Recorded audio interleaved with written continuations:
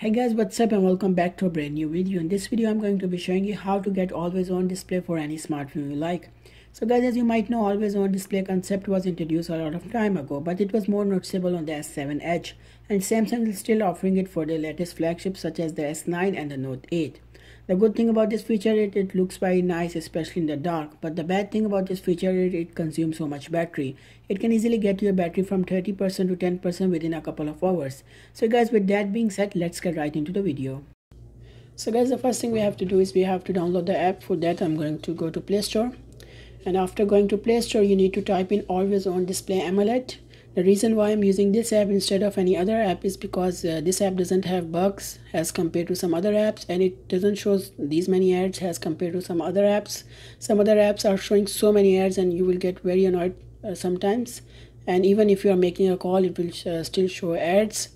So that's why I'm using this app and the reviews of it uh, is also very good. It's, it got 4.2 out of 5 and a million downloads. So I'm going to click on install so it's going to take some time because my internet is slow. So I'm going to come back when it's done. So guys now the app is installed. Now I have to uh, click on open. So now it's going to say you to accept the terms and conditions. And now it's going to show it how to use the app. And now you need to allow this app to turn on the screen for the always on display. You need to click on allow so now guys you can choose different analog clocks or digital clocks i will go with the digital one because it looks uh, nice. I'm going to go with this one and then i'm you can also change the color if you like. So then i'm going to click on apply. And uh, if you want uh, analog clocks you can also choose those one. So now i'm going to write a custom message. You can write your name or your contact information anything you like. I'm going to write my channel name. So then i'm going to click on apply and I will change the font to give it a, a little bit personalized touch. You can choose the font you like the best. There are many of these. I will go with this one. And now whenever you are going to lock your screen after two to three seconds it's going to show the always on display.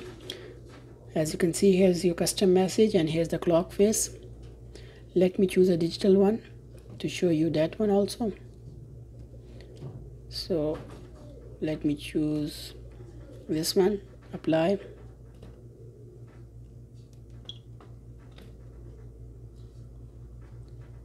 So guys as you can see now it's showing the other one. So it looks very nice. It's not like the one you will see on the s8 or s9 but it's different and it's also bug free so that's why i like it. So guys that's it for this video. If you like the video make sure to give it a like and thanks for watching